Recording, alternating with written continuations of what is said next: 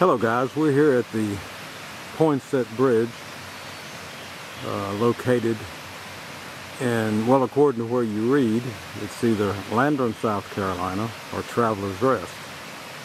But at any rate, it is uh, located in Greenville County, North Greenville County, in, uh, in the mountains of Greenville County. And as you can see there, uh, the bridge was built in 1820 by Abraham Blanding, acting commissioner of the Board of Public Works, and was named for Joel L. Poinsett, who was a lot of things in South Carolina, involved in politics and other things, but uh, the bridge was named after him, even though, from what I've read, he did not do a lot of work here, well, none, really. He wasn't even here that much, but you know, being involved in, in politics and, being a uh, well-known person in the state of South Carolina, I guess has its perks. And having a bridge named after you is, is one of them. And this is a picture of the bridge itself. Uh, it was part of what was called the Saluda Dam Roadway, or not Saluda Dam, but Saluda Mountain Roadway and it was part of a project that, from what I have read, was started actually in Charleston, South Carolina, as Charleston at the time was, of course, a port city, still is, but uh, they were in competition with Savannah and to a lesser degree, New Orleans, but it was determined that in order for Charleston to thrive, and of course the state of South Carolina, they had to open up their trade routes. And so a state road was built from Charleston to Columbia, and to Columbia to Greenville, and through Greenville County to open up the uh, western North Carolina avenues and eastern Tennessee and points beyond.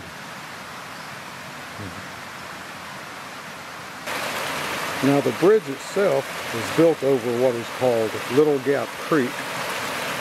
And the creek flows from east to west, I believe.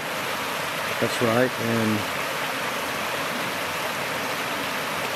and the bridge crosses the stream north to south. So if we look this way. We'll be going from north to south. And this is looking back the other way from where we just came, which would be south to north. And of course this is the original part of the Saluda Mountain Road not much of it is left. And there were actually three bridges built in this Saluda Mountain Road area. And the other two are now located in what is now the Greenville Reservoir. So they're underwater. And so this is the only bridge of the three that still remain.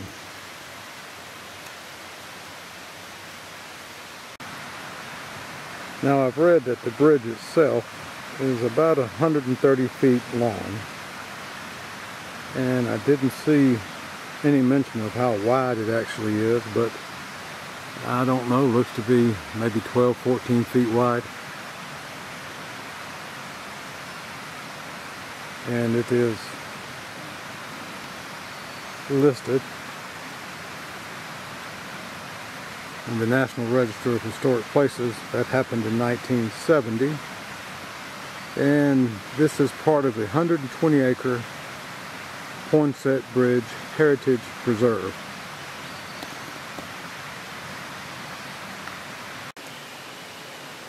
And these stones were quarried here locally, as a matter of fact.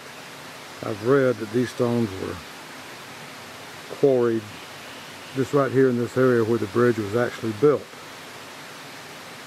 And they used the stone and mortar to construct the bridge. And I've read that they actually hired stonemasons from some of the northern states to come down and, and do the work here, not only on the bridge, but also the road.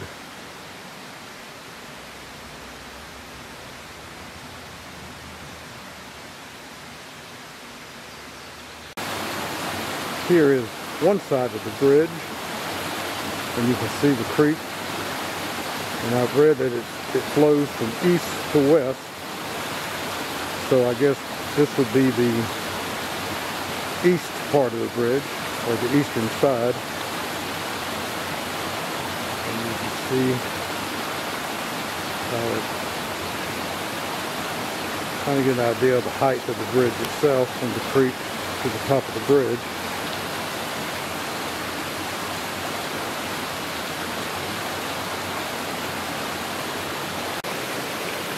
Here is a closer shot of the bridge arc and the water flowing under the bridge. It really is a beautiful bridge. Of course, and it's in pretty good shape to be built in 1820.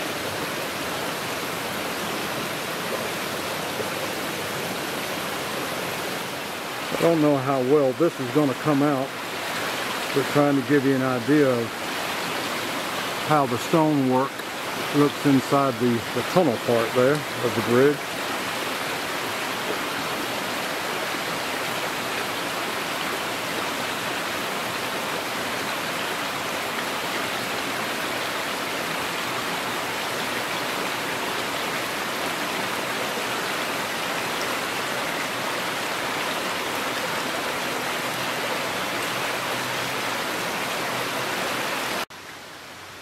Now when you first come and walk across the bridge from the parking area,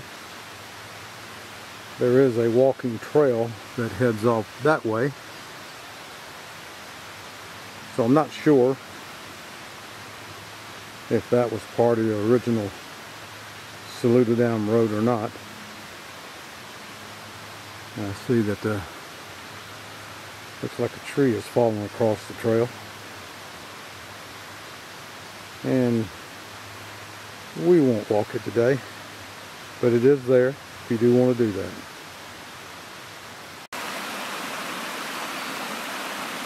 And this is the other side of the bridge, and I'm assuming it's the western side of the bridge, if I'm correct. And you can see the what they call the Gothic arch and I'll get a little closer and show you the keystone which at one time the year 1820 was uh, you could see it in the keystone but over time that has worn away and is no longer visible. But this is certainly a great view of the bridge and there is the keystone as you can see. Uh, the date is no longer visible. But I have seen pictures or drawings of the bridge where the date was there. But you know the bridge is very old. So time and weather has I guess worn it away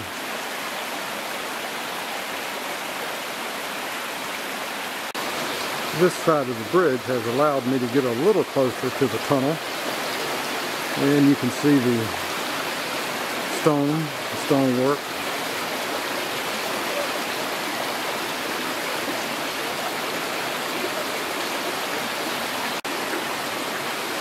And that is the top of the arc.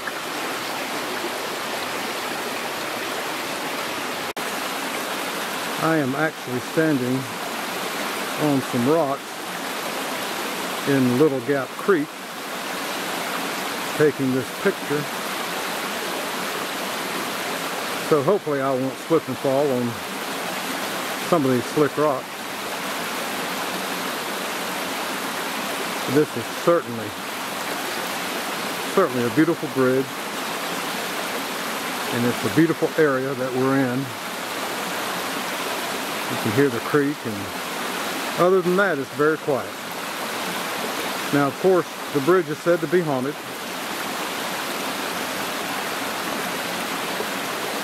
As most old locations are.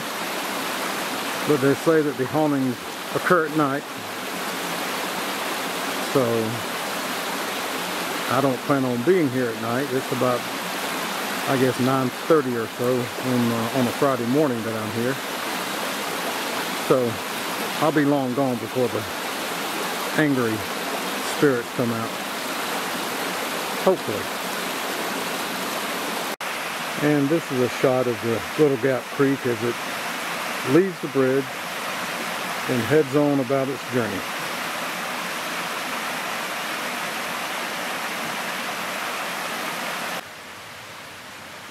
Now, a lot of people think that Robert Mills actually designed this bridge and the other two bridges that were part of this roadway that, as I said earlier, are now underwater, the Greenville Reservoir. But there's no proof, actually, that Robert Mills did design the bridge. Uh, a lot of people have researched it and they can't find any concrete evidence that he actually designed the bridge. And as a matter of fact, he was actually living in Baltimore, Maryland, uh, when the bridge was built and didn't come back to South Carolina until December of 1820.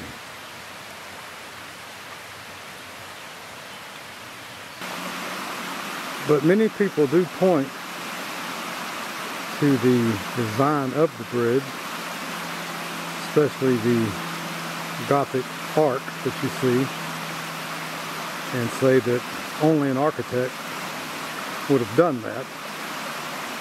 And apparently, Robert Mills had some correspondence with people in South Carolina uh, for a period of time before the bridge was actually built as he was wanting to uh, gain employment with the state of South Carolina and actually ended up doing just that but as I say if he did design the bridge it was done from afar because he was in Baltimore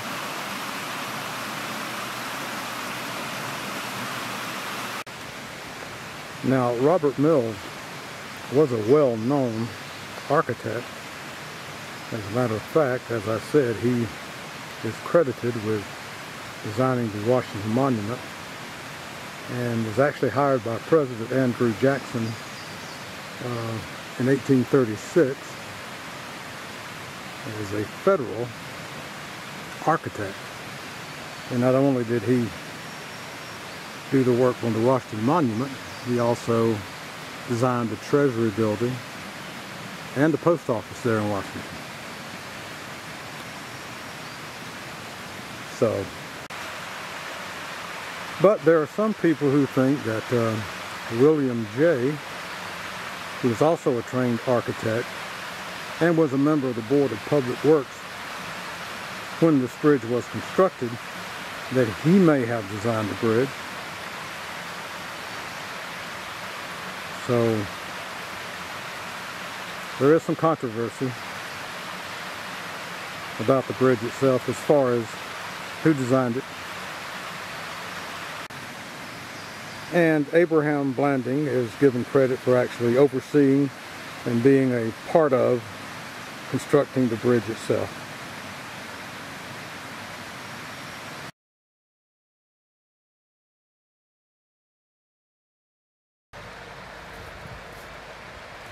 Well, we're here at the Campbell's Covered Bridge near Gowensville, South Carolina. And this bridge was actually added to the uh, Register of Historic Places on July 1st, 2009. It is the only covered bridge in the state of South Carolina. And Gowensville is in Greenville County, South Carolina. And uh, so we'll head down and get a little closer and take a look at the bridge. So here is the Campbell Bridge. It was built in 1909 and 38 feet long and 12 feet wide. And it goes across the uh, Beaver Dam Creek. And it is located at 123 Campbell Covered Bridge Road. Beautiful bridge. Now I don't know how well this will turn out, but I'm in, in the bridge now. Just uh, hopefully y'all can see these this video here. Give you an idea of kind of what it looks like inside. And you can see the construction of it.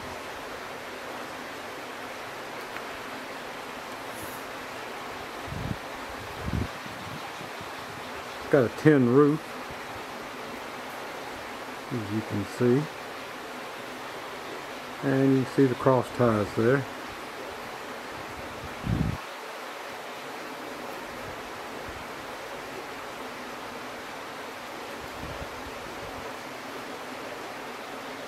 Now,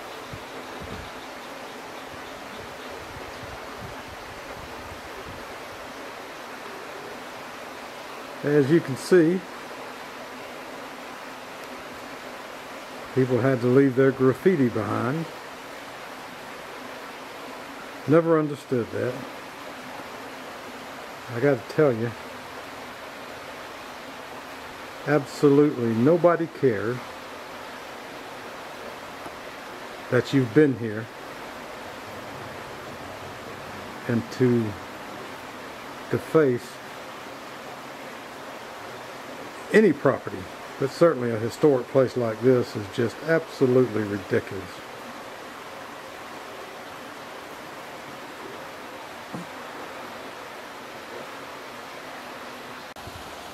Here is the information placard that uh, gives a lot of information about the bridge. You can certainly pause this and read it.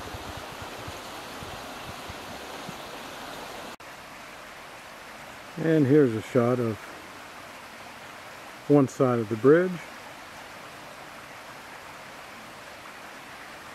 And Beaver Dam Creek. Runs runs under the bridge. Here's a shot uh, from the creek of the bridge. Don't know how good that's going to be, but we'll we'll check it out and include it if it's uh, if it looks good enough to be in the video. Again, uh, shot of Beaver Dam Creek.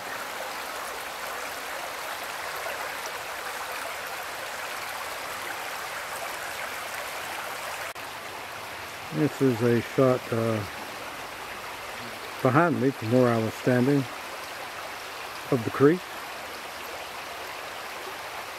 I'm sure you can hear it as it runs over the rocks. Beautiful place out here. Again, if not for the sound of the water, it would be very quiet.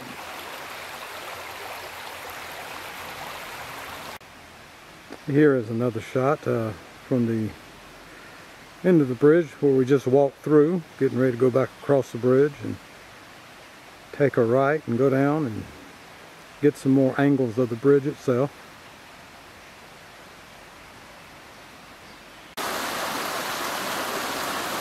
Here is a very nice shot of the bridge.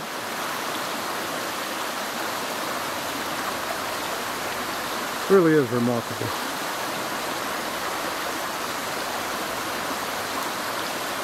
Again, this is the only covered bridge in the state of South Carolina. And as you can see, it's it was built in 1909, so it's holding up pretty well. I know they've done some work to it apparently over the years, but holding its own, that's for sure. Very nice. And you can hear the Beaver Dam Creek there. Again, running over the rocks here, the water. Beautiful sight.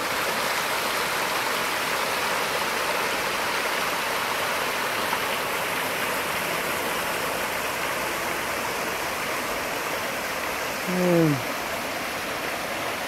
turn around here.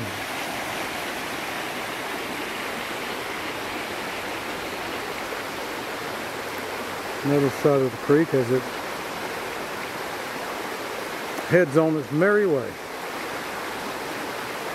Very nice. Another angle of the bridge. I just moved a little bit more to my right. You can see the, the stonework there that in front of and in back of the bridge.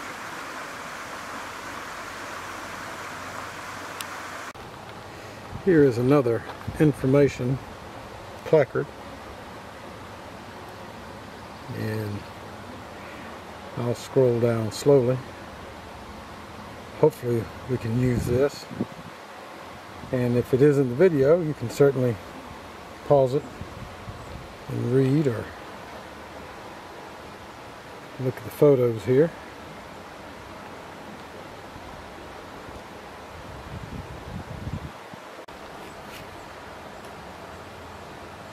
This is Stella Atkins. And she grew up in this area. As a young girl. And was here all of her life apparently. And she ended up buying this land that joined I think her family's land. They wanted to preserve this area and then she left it to her daughter and then her daughter sold it to Greenville County with the stipulation that they would keep it preserved for everyone to enjoy. I found this part here interesting about uh, the movie, a scene of a movie was filmed here in 1979 and the movie was called The Day of Judgment and it featured an avenging angel riding a horse out of the bridge to take justice. So there you are. Never seen that movie, but I'll have to check it out now.